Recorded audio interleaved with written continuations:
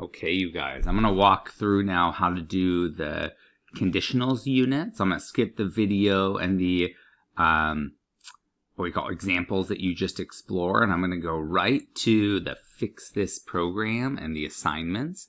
So this program is buggy, let's fix it. So if you click on the assignment, it's saying booleans like integers are, are different data types. So you have to convert them to strings before you can add them together. So right here, if you try and run string plus different data type, it says, oh shoot, it must be a string, not a bool if you're trying to put them together.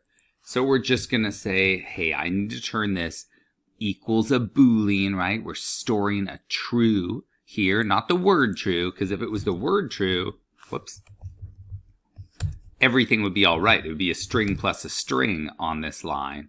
But since it's actually a boolean data type, we need to turn that into a string and end the parentheses.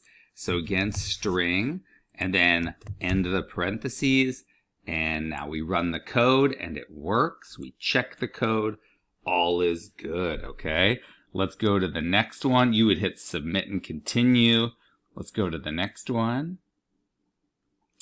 Okay, so this one's saying we've got this boolean of whether or not um, needs water, right? And then um, needs to be repotted.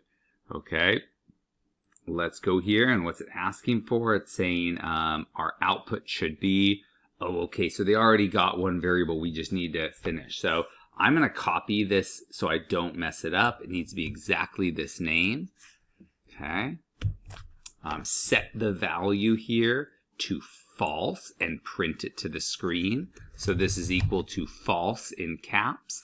I'm going to print and then I'm going to say, and I'm going to again, I'm going to copy exactly this so I know it matches the expected output and then end the quotes. I'm going to add, and I have to turn the boolean into a string. So needs to be repotted.